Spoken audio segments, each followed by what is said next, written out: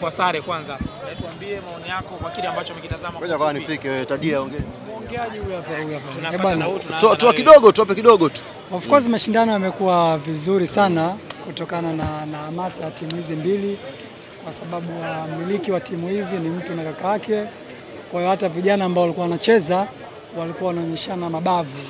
Kwa hiyo niseme tu tunashukuru Mungu, mashindano yameisha salama na yalikuwa mazuri ya kufurahisha. Lakini kiongozi, uh, watu walikuwa wanajiuliza pengine tungemwona brother hapa, alikuwa anahofia kutokana na timu yake ama la? Uh, si kweli, alikuwa ofi na alikuwa safari. Wote mnafahamu kama alikuwa Kongo na wamekuja na ushindi mzito na wamerudi amechoka, lakini mtoto wake alikuwepo Mohamed na ameweza kumwakilisha vizuri. Kabla ya mchezo alikwambia nini? Si mchezo dakika 90 shekhe. Kwa hiyo ndo tumeonyeshana hapa, kila mtu ameweza ku- ku- kujionea mashindano ambayo ametoka. Bwana, huyu ndo msemaji. wewe umeridhika na matokeo haya? Nimeridhika kabisa kabisa, kwa roho safi. Ba, shukrani sana. Shukrani sana. Leo.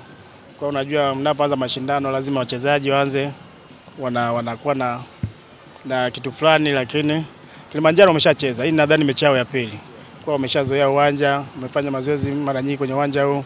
Kwa hiyo dakika 90 mpira umeisha na imekuwa ni mbili mbili.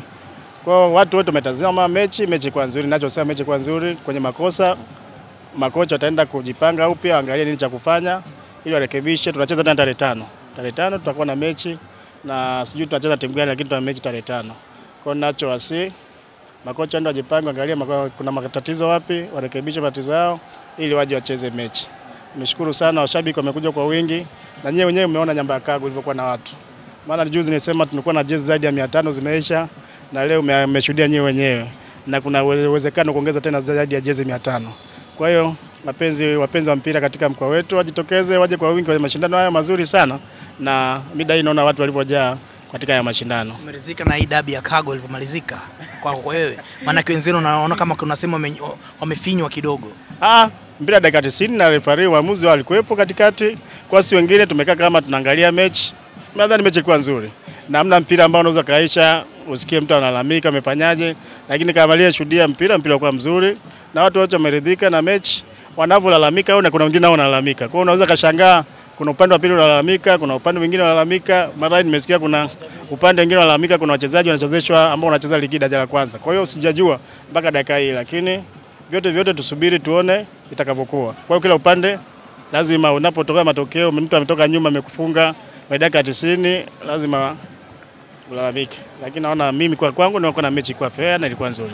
Kwa kumalizia, eh, kama chama cha soka mkoa wa Dar es Salaam, kwa namna gani mnaendelea kuwapa sapoti watu ambao wanahitaji kuona vijana wakipata platform ya kuonyesha vipaji vyao hasa michuano kama hii? Ah, sisi kama Dar es Salaam tuna walimu. Juzi hapa nilikuwa na naongea na kamati yangu ya, ya, ya makocha. Kuna program nyingi tumeziandaa kwa ajili ya timu za vijana, na muda si mrefu tutakuwa na mashindano makubwa sana kwa under, under, under 15 watakuwa na mashindano ambayo yanafanyika na simamia DRFA. Kwa hiyo muda si mrefu wakazi wa Dar es Salaam watashuhudia tena mashindano mazuri ndani ya mkoa wetu wa Dar es Salaam.